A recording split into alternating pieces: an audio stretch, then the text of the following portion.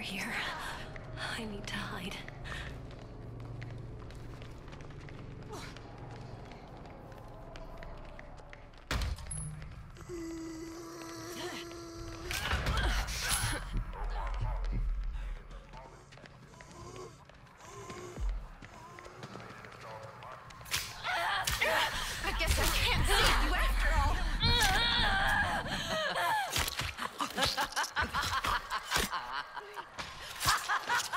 I love you, Grandpa.